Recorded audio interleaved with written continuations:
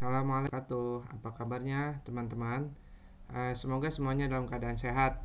Uh, kali ini kita akan meneruskan uh, tutorial sama-sama belajar lagi kemarin tentang basic level Laravel 8 ya kemarin sudah membuat route dan view dan cara menginstalasinya.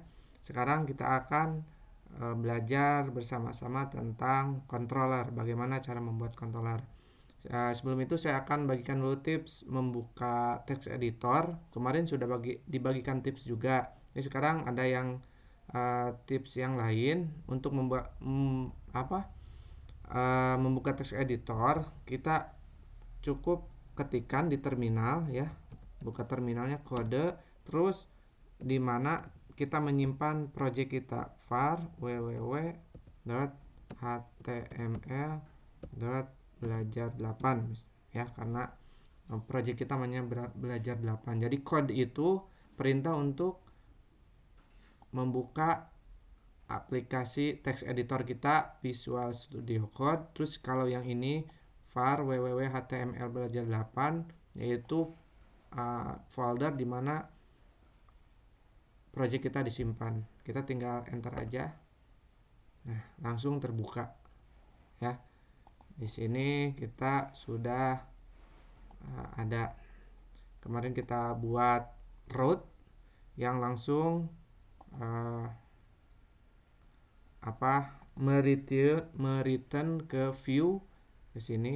View ada home di sini. Home ada juga about di sini ada about Nah, sekarang kita akan membuat sebuah controller yang mana kita tidak akan langsung dari route ini ke view, tapi akan uh, memanggil dulu controller. Karena di sini ada kita akan uh, menggunakan bagiannya menurut fungsinya. Ya controller baru setelah controller nanti ke view atau dari controller nanti ke models ya gitu ya oke untuk membuat controller ada dua cara. Pertama yaitu dengan cara membuat manual. Di sini di app di app ada HTTP terus ada folder controller ya di controller ini ada, ada satu bawaan ada satu file bawaan controller.php nah kalau kita mau membuat kita tinggal klik di sini ya. Terus new file. Misalnya kita akan buat home controller controller. Pakai titik .php ya. Nah maka kita akan membuat home controller .php tapi masih kosong. Nah untuk membuatnya nanti uh, kita bisa copy di sini ya. Sini copy terus kita paste di sini. Nah jadi ada namanya home controller. Ada lagi cara yang kedua. Ya kita hapus dulu yang ini. Ini hanya menunjukkan aja bagaimana cara manual. Kita uh, bikin cara kedua yaitu menggunakan terminal. Caranya kita buka di sini terminal terus new terminal. Nah kita bikin di sini. Kita lihat dulu perintahnya. Php artisan Nah, di sini di PHP Artisan ini banyak sekali perintah-perintahnya tinggal kita jalani ya. Nah, kita akan membuat controller di Mac di sini perintah Mac. Kita membuat Mac controller.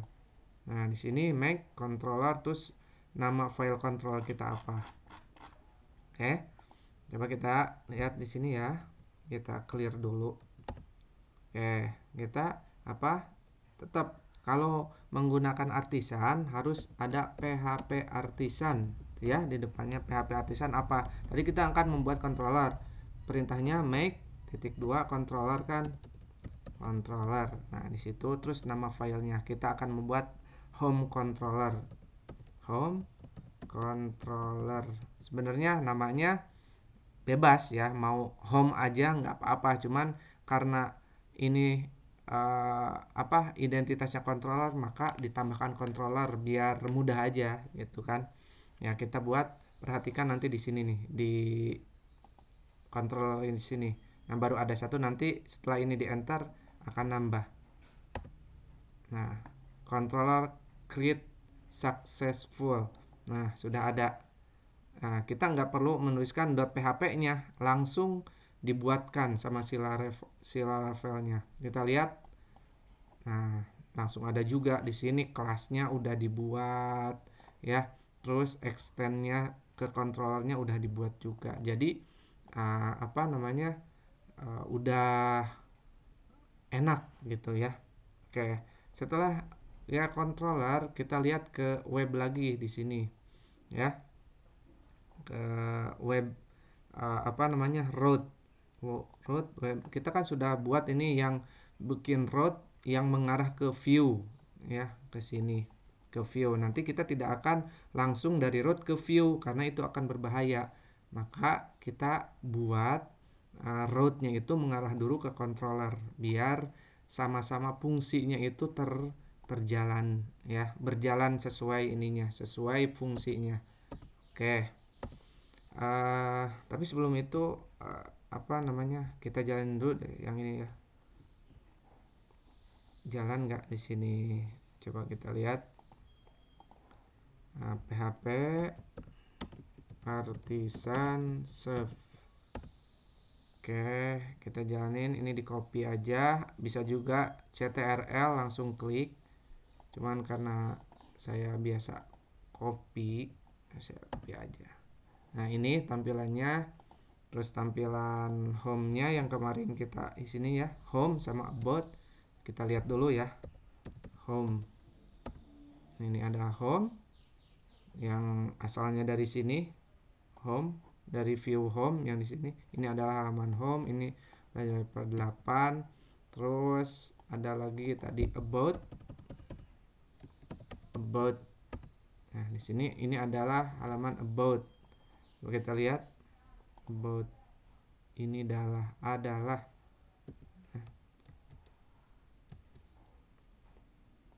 Nah, kita bisa kembali misalnya ke home, nah, gitu ya, about, home, about, gitu ya, bisa kembali kembali. Nah, maksudnya about, ya kita lihat home ini ke about ini about ini home. Kita buat sudah buat link. Nah sekarang kita nggak akan langsung dari sini ke view tapi kita akan buat sebuah uh, kita akan lempar dulu datanya ke controller. Jadi kita buat di sini controller. Kita uh, hapus dulu yang ini atau kalau nggak mau dihapus kita beri komentar aja ctrl slash gitu ya. Boleh kalau uh, kalau ini kalau kita panggil dia akan error. Ini ya. Bisa di sini. Karena ini belum di save kalau dipanggil ya akan error not found ya, atau about. Ya nggak bakalan. Kita akan panggil dulu di sini. Kita bikin route dulu. Route. Ya kita bikin route dengan metodenya get. Terus kita panggil slash home itu ya. Nah eh dulu. Home. Mau pakai slash mau enggak juga sebenarnya enggak apa-apa ya. Terus kita panggil ininya dengan uh, controllernya di sini. Home. Home controller nah di sini harus dipanggil di sini nah app http control home controllernya kalau tadi kan belum ada Nah, ketika saya ngetikkan ini tadi nah, sudah uh, dibuatkan otomatis sama Visual Studio Code-nya ya. Nanti ini harus dipanggil kalau misalnya teman-teman nggak pakai Visual Studio Code, ini harus dipanggil uh, namespace ini ya. Namespace dari sini eh, uh, gitu ya. Terus kita uh, itu kan kelasnya ya. Kelas. Lalu kita bikin functionnya apa ya? Index aja. Index ya. Index. Tuh oke. Okay. jangan lupa sini. Nah kita sudah buat uh, root namanya home yang akan memanggil home controller yang ke sini yang dengan kelas dengan function index. Kita belum buat function indexnya. Nah kita uh, kita panggil dulu deh. Ya home. Obot kan belum dibikin ya. Home. Ya karena di sini method index does not exist karena belum dibuat. Sekarang kita buat ya di sini.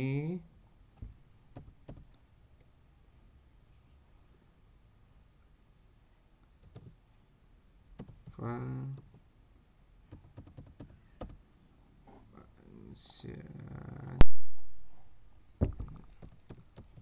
public function index ya.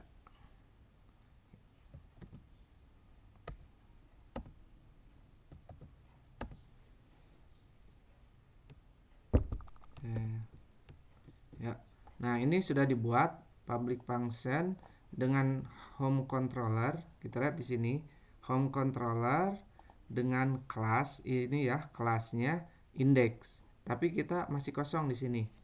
Kita lihat nah udah terpanggil cuman masih kosong. Belum diisi apa-apa. Kita lihat dulu home. Nah masih? Nah, kosong. Coba kita isi aja ya. Sembarang dulu. Kita return aja. Return misalnya apa? Ini adalah halaman home dengan controller. Oke titik koma. Kita save. Kita nah ini adalah halaman home dengan controller. Jadi sudah terpanggil dari root di sini root home controller ya dengan kelas index. Atau kita akan buat lagi sebuah uh, apa function namanya about ya about public public function about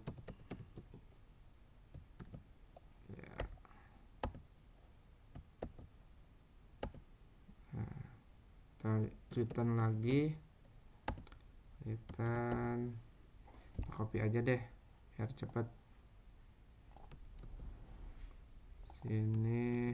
Ini adalah halaman about dengan controller. Nah, kita kan sudah buat di sini ya halaman about-nya. Nah kita panggil juga di uh, root-nya sini ya. Kita duplikat aja Ctrl Shift D. Kalau di uh, Visual Studio Code. Nah kita bikin root-nya namanya about. About. Terus home controlnya sama kelasnya sama cuman di sini metodenya tadi apa? About. Ya di sini lihat metodenya sini about ya. Sama samain jadinya. Nah, kita panggil about. Nah ini ada halaman about dengan controller. Ini sama ya? Bisa gitu Nah, sekarang bagaimana kita akan memanggil ini? Sama kita panggil, cuman tidak langsung dari uh, root, tapi kita panggil dari controller. Nah, kalau mau manggil controller sama aja. Kalau uh, kemarin di sini view view home sama aja. Ini return view home sama return view about sama. Jadi kita tulis di sininya. Ya. Nah, lihatin di sini ya. Return view home. Jadi e, mengembalikan nilai ke view dan home. Nah di sini return ya. Return view ya. Apa di sininya? Uh, nama ininya apa? Home. Ya ada home. Kita lihat ya. Oke kita lihat yang ini yang home dulu. Oke. Kita lihat yang home. Nah langsung berubah seperti biasa. Karena ini aboutnya belum dibuat. Masih error ya dengan controller. Di sini aboutnya ini adalah halaman about ya. Kita copy lagi. Sini nah, sini ininya about ya. About. Oke. Maka kita refresh. Nah ini adalah halaman about belajar level 8 dasar. Kita kembali ke home. Nah, ini adalah halaman home, kita kembali ke about, ini halaman about. Karena di sini kemarin yang kita sudah buat uh, sudah dinamis pakai URL home di sini URL about. Itu ya tentang controller. Uh, untuk pertemuan kali ini saya kira cukup ya teman-teman. Kalau misalnya ada yang kurang paham bisa uh, diskusi di bawah di kolom pertanyaan. Saya cukup. Assalamualaikum warahmatullahi wabarakatuh.